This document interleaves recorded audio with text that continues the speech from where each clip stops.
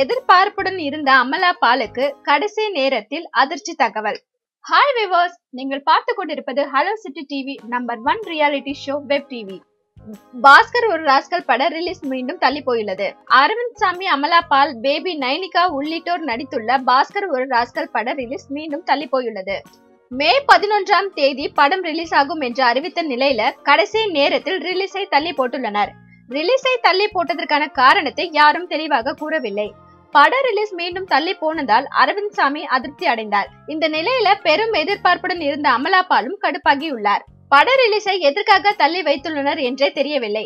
படம் விரைவில் ரிலீஸ் ஆகும் என்று நம்புவதாக தனது பேஸ்புக் பக்கத்தில் போட்டுள்ளார் அமலாபால் தன் படம் ரிலீஸ் ஆகாத கவலை ஒரு பக்கம் இருந்தாலும் தனது சொந்த மாநிலமான கேரளாவில் நடந்த புரட்சி திருமணத்தை வாழ்த்த அமலாபால் தவறவில்லை.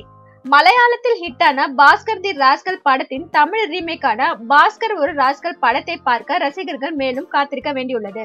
பாஸ்கர் ஒரு ராஸ்கல் படம் வரும் பதினெட்டாம் தேதி ரிலீஸ் ஆகும் என்று தெரிவிக்கப்பட்டுள்ளது.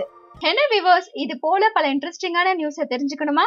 ஹலோ சிட்டி டிவியை லைக் பண்ணுங்க ஷேர் பண்ணுங்க. மறக்காம சப்ஸ்கிரைப் பட்டனை பிரஸ் பண்ணுங்க.